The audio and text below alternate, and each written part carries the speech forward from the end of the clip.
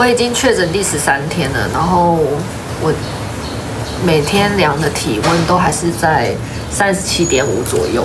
确诊后量体温成为每天日常，只是想都没想到，明明第九天快筛就已经阴性，症状也慢慢好转，体温却依然持续烧。但因为我的血压跟血氧测量出来都是正常，而且也有听我的呼吸也是正常，所以医生其实也跟我说，他也不知道是什么原因。消炎针我也打了，但是回来的效果其实也没有到就是。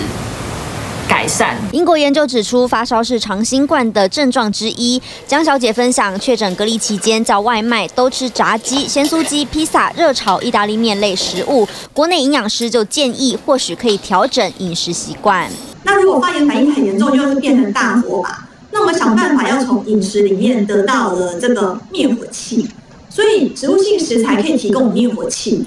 营养师分享一份针对英、德、法、意大利、西班牙以及美国六国医护人员饮食的调查，发现多吃植物性食材的人，比起吃红肉者，中重症比例下降百分之七十三。植物性食材有两个东西是动物性食材没有的，像是植化素跟呃膳食纤维，那它本身就有抗氧化、抗病毒、抗发炎的一个效果在。